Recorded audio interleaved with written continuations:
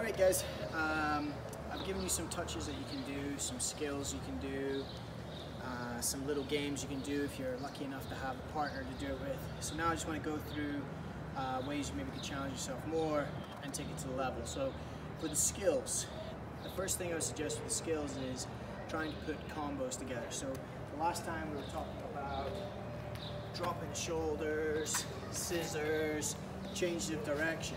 So let's see now to make it a little bit more difficult, can you combo some of them together to then make it a little bit more difficult? And again, it can be any combo you want. I might see some combos that you guys don't like and you guys might have some combos that I don't prefer. It's not, there's not wrong, it's just what you like. And just experiment and play with it. Ones I like to do, I like to put together a step over and a scissor, that's an example. So I like it when I do a step over, a scissor, and then I go away. So that's an example of comboing two moves together. I also like the idea of a change of direction and a skill combined together. So you could change direction, drop your shoulder, and then go the other way. Another example of comboing a turn, a skill, and the first one was two skills together. You can put more together if you want. What I used to do every now and again in the game was rolling the ball, step over, scissor, and then away. So again, experiment, come up with ones you like, maybe comment little combos you put together. But again, I just want to make sure you understand there isn't wrong. There's just you experimenting what you think works for you and putting them together and challenging yourself to put together some nice little combos that uh, you can maybe then use in a game. The next way you can make things a little bit more difficult. Can I get a tennis ball? All the touch work we did. Obviously when you have a normal sized ball, the bigger surface area makes it easier to do the technique. So if you want to challenge yourself further, smaller ball.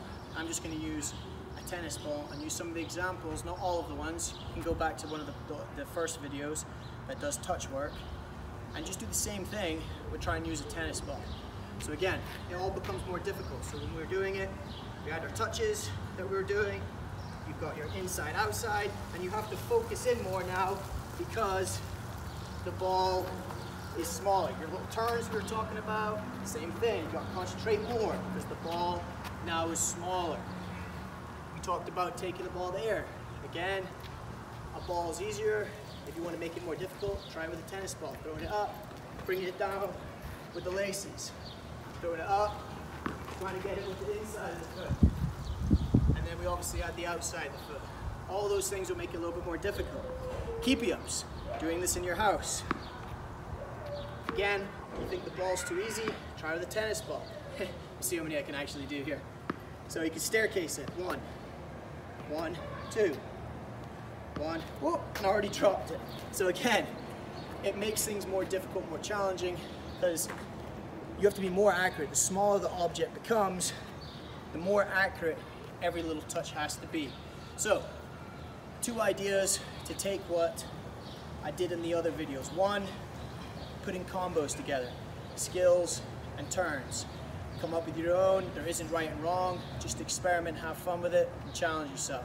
The second one, if you're finding the touch work too easy, again, go to a smaller ball. Doesn't necessarily have to be a tennis ball, but go to a smaller one. Tennis balls do work great though.